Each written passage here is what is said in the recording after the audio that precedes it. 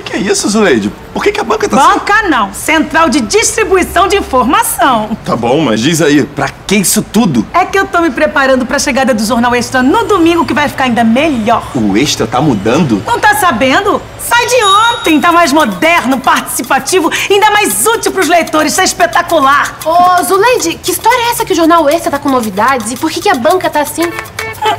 Sai de ontem.